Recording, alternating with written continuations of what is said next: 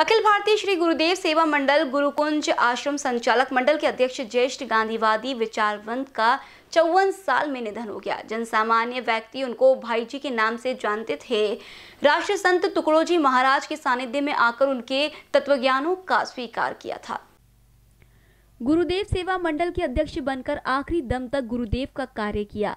अपनी ज़िम्मेदारी को न्याय देते हुए और कार्य पूरा किया। राष्ट्रीय सेवा योजना के काम में सहयोग करके युवाओं को जोड़ने का महत्वपूर्ण भूमिका निभाई। जोड़ो जोड़ो, भारत जोड़ो का नारा देश में प्रचलित है। राष्ट्रीय संत टुकड़ो जी महाराज के भजन के माध्यम से चंबल घाटी के डाकू लोगों को आत्मसमर्पण करने के लिए प्रवृत्त किया। और डाकू लोगों को समाज के मुख्य प्रवाह में लाने की अहम भूमिका निभाई। नेशनल यूथ प्रोजेक्ट के माध्यम से युवा वर्ग को जोड़ने का काम किया।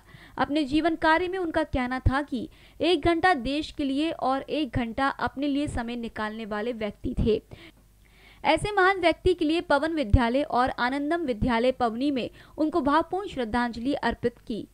इस अवसर पर प्रधानाचार्य हेजिब सुनील किरमीर, चक्रधर मेश्राम देवराज बावनकर, राजेश यलसेट्टीवार, नंदकिशोर झंझाड़ ज्ञानेश्वर वाघमारे, नारायण गभने, सुषमा मानापुरे, विनोद बावनकर, सुरेश अफसरे विजय नंदा गवली, प्रतिभा अंबादे इन सबकी उपस्थिति में भाई जी को भावपूर्ण श्रद्धांजलि अर्पित की।